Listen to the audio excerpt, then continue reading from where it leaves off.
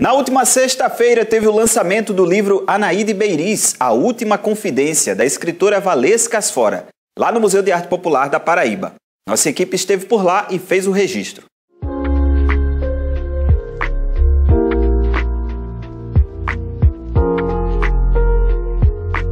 A ideia de escrever o livro surgiu a partir da curiosidade de Valesca sobre a vida de Anaíde Beiriz, que viveu na década de 20, mas até hoje tem seu nome lembrado. Uma história com muitas lacunas, já que os arquivos dela não, não é, foram queimados, não, não é fácil de localizar.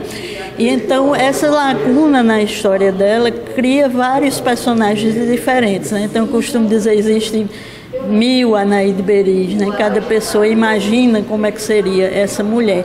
E aí surgiu de uma curiosidade mesmo, de, de saber, é, ela escrevia, mas escrevia o quê, onde, onde ela publicava, e começou como uma coisa pessoal, eu não tinha a intenção de, de publicar.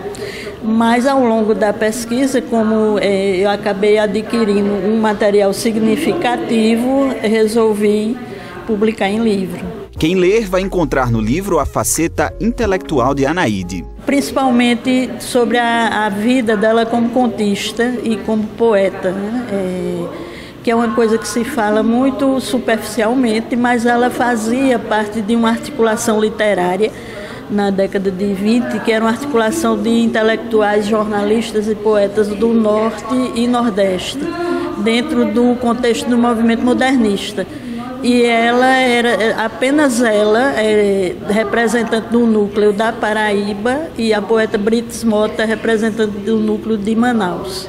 Como informação, eu considero o mais importante sobre a morte dela, porque a partir de 30 isso se transformou em uma incógnita. Né? A própria família de Anaíde não tinha essa resposta exata. E na pesquisa eu consegui localizar um inquérito onde consta a carta que a própria Anaíde deixou, né, declarando que, que estava cometendo suicídio.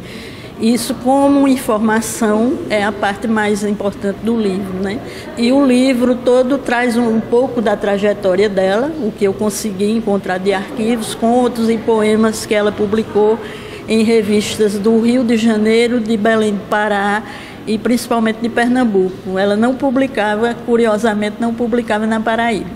Será que poderíamos falar sobre um legado artístico e cultural deixado pela obra e pela história dessa pessoa, que até hoje desperta curiosidade?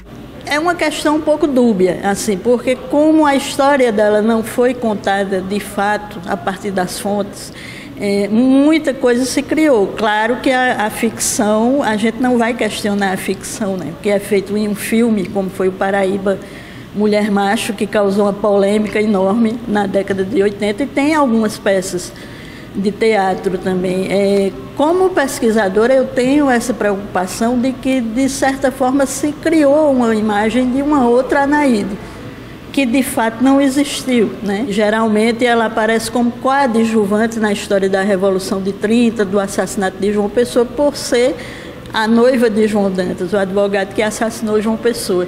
E ela tem a história dela, né?